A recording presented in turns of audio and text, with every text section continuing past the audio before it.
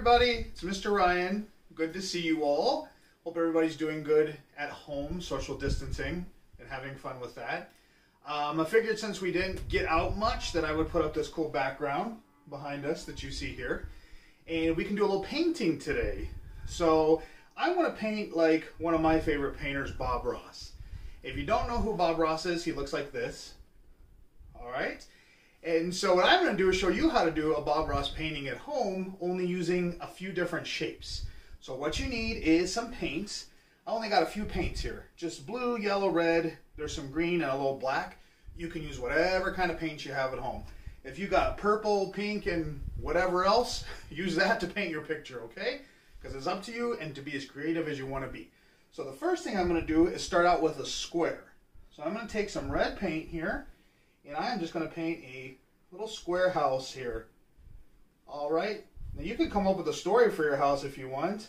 This little house was built in the woods by a band of aliens so that they could come and have a summer vacation home every year. All right, so there's my story.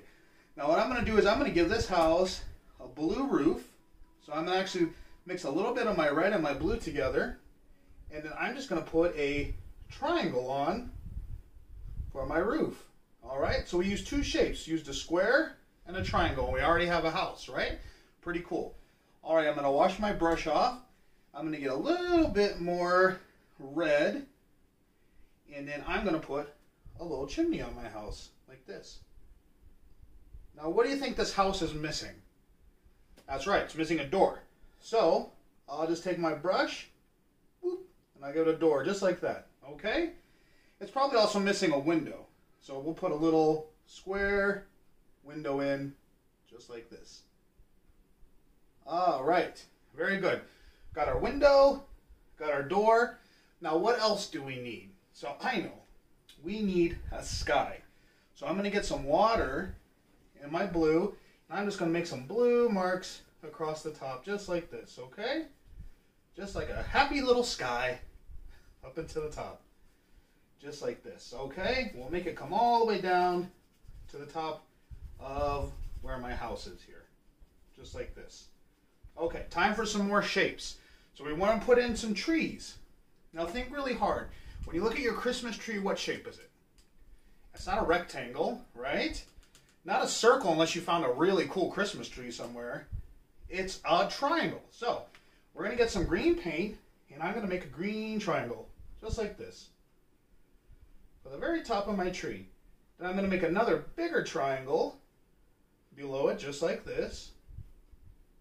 And a little more paint. And an even bigger triangle down at the bottom. Just like this. All right. I'm going to brush my brush off in the water here, get a little black, and we'll put just a little tree trunk down at the bottom like this. All right. Now, if you get really good at painting trees and you want to do them differently, you can get some green and just make trees like this to the side. See how simple that is? Really, really easy to practice. And then again with your black, there's your tree trunk, okay? So you can make a bunch of trees on your painting. Now what I want to do is I want to add a sun. So I'm going to get the color that's best to use for the sun. Let's see. Is that black? No. Green? No. What about yellow? Yes, yellow is the best color. Very good. So I'm going to get some yellow here. I'm going to put a circle sun in right here hiding behind the tree.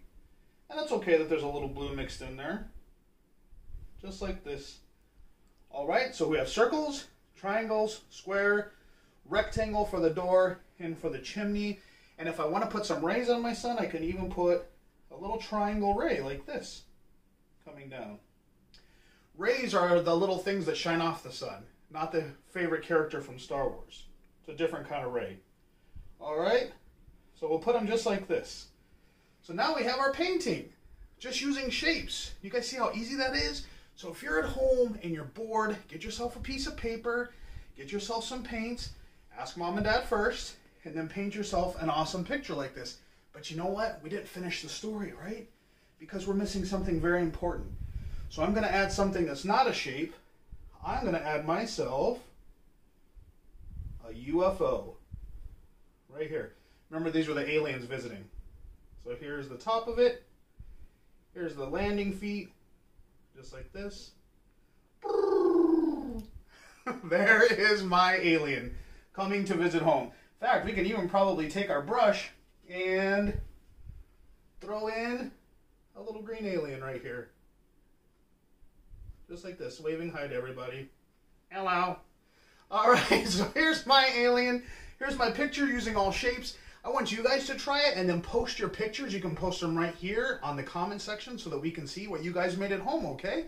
Maybe you guys can even drop them off and we can hang them up around the school, okay?